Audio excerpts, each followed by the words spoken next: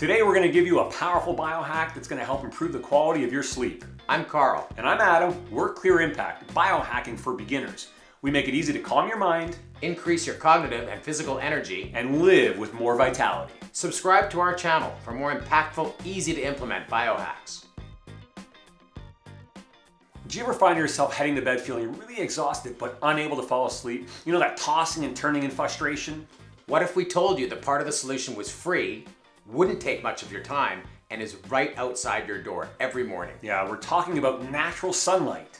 Our body's sleep pattern is very connected to our exposure to natural light throughout the day.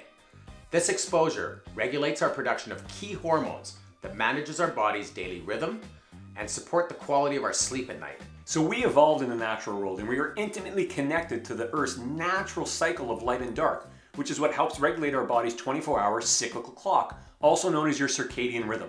Right. Don't you notice that when you're out in the sunlight all day, like when you're camping or at a cabin, you just get the best sleep at night? Absolutely. You know, and when I have my kids outside, as long as they're out for a little bit of time, they always seem to go to bed really well.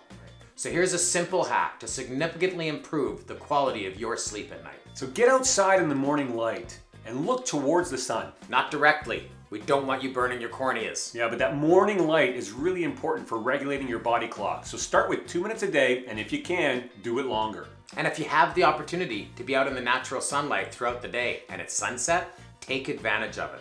The more time you spend in the natural light, the greater benefit you receive from it. Yeah, even if it's cloudy outside. Right. And if you're cooped up in an office all day, you can still take your breaks and lunch outside. So here's today's clear impact practice for you guys.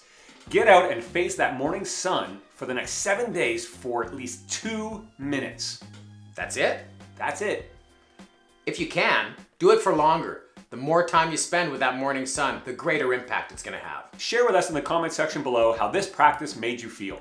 And we love learning from you, the community. So if you have your own sleep hack that you found useful, share that as well. Thanks for watching, and if you haven't subscribed yet, subscribe now for more impactful and easy to implement biohacks. And if you know someone else that could benefit from this practice, share it with them. We're Clear Impact. We help you calm your mind, increase your cognitive and physical energy, and live with more vitality. Oh yeah! That's what better.